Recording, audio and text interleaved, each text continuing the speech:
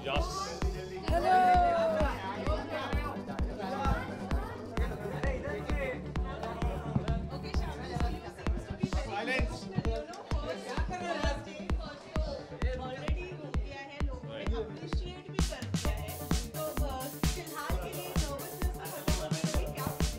Friday है तो nervousness अभी तक चलती, मंडे तक चलती रहेगी। बट आज सुबह में जब उठी सुबह से रोना अभी आ रहा था, आ रहा था, आ रहा मैंने बोला, नहीं नहीं नहीं नहीं जाना है लोगों से मिलना है बट आप सब लोग को यार देखते हुए जो फीलिंग आ रही है अंदर से, क्योंकि आज फ्राइडे है, वो अभी कंट्रोल नहीं हो पा रहा है।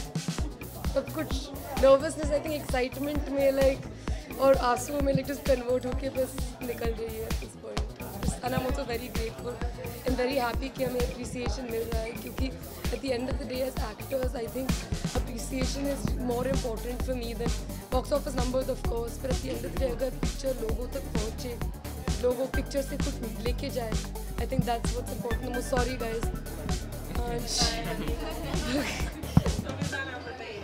obviously you no खुशी की बात है, बहुत एक प्राउड मोमेंट है हम सबके लिए. But at the same time हमने बहुत मेहनत और बहुत प्यार से फ़िल्म बनाई है, बहुत वक्त बिताया है इस फ़िल्म पे.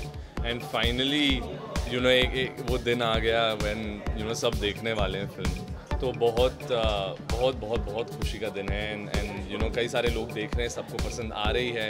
एंड यू नो जैसा कि शानन ने कहा कि ऐसी फ़िल्म है जो आप थिएटर के बाहर निकल के भी आप उसके बारे में सोचते रहते हैं और आप घर लेके जाते हैं उन किरदारों को, उस दुनिया को। So I think that you know for film makers and actors वो सबसे इम्पोर्टेंट है। And you know thank you thank you guys so much for coming और आप लोगों ने भी आज पिक्चर देखी और सबको पसंद आई so thank you thank you